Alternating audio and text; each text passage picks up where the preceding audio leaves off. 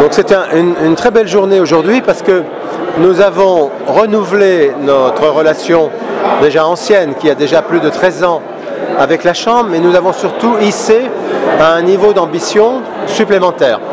En France, nous avons créé une Team France qui est assez solide, assez ambitieuse. Dans toutes les régions françaises, cette Team France, elle va mobiliser un nombre croissant d'entreprises pour les amener à l'étranger. Et on a choisi que ce soit ici au Maroc, évidemment, la Chambre, qui soit le correspondant unique de la Team France et qui puisse, dans toutes les filières prioritaires, accompagner sur le marché marocain les PME, les ETI françaises.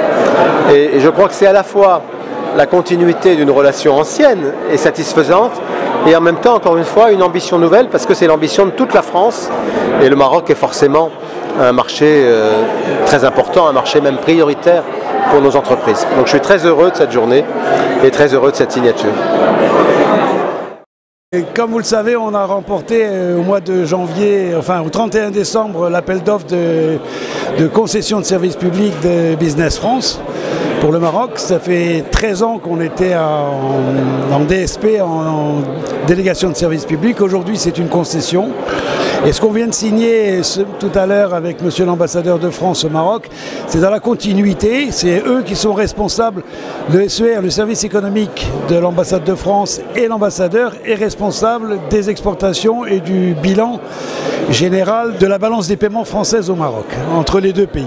Un ambassadeur aujourd'hui est le responsable économique de toutes les opérations. Donc ce qu'on vient de signer, c'est une entente cordiale euh, efficace et amicale pour mettre en combinaison nos deux services, c'est-à-dire le SER et la CFCIM, pour agir avec encore plus d'efficacité pour développer le commerce extérieur de la France et, espérer rendre le déficit moins important.